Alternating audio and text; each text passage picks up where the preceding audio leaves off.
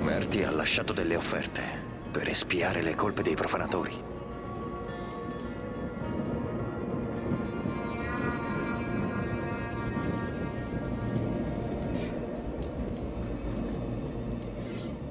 Un appunto di Isidora.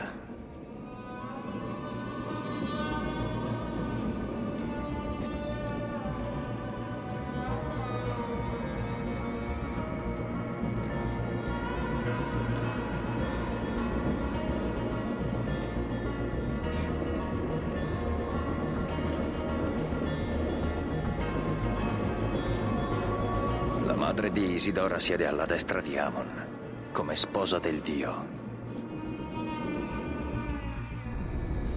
I razziatori hanno ucciso Nitocris quando lei ha tentato di impedire il saccheggio delle tombe. Isidora ha dovuto seppellire sua madre. Il globo e l'eredità di sua madre sono passati a lei. Ha giurato di vendicarla, ma non aveva i mezzi per farlo. Finora. E poi, anni dopo, Merti è venuta per cercare di fare ammenda per le azioni altrui. L'origine della maledizione. Una bambina privata della madre che chiede vendetta agli dei.